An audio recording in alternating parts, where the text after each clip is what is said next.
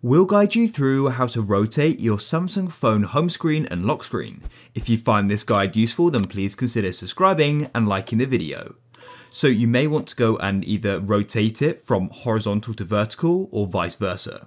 So what you need to do is drag down to open your notifications and then drag down again and you want to locate the auto rotate setting. So as you can see it is currently enabled but I still can't go and rotate it as you can see.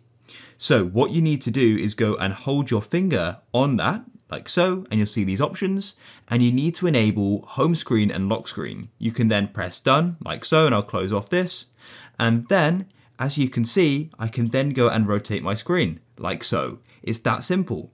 And you could do the same thing, and you can also go and choose whether to have it locked or unlocked. So if I go and lock it, it's now locked to portrait, but you could also go and lock it um, to horizontal or landscape as well. If you found this useful, then please leave a like.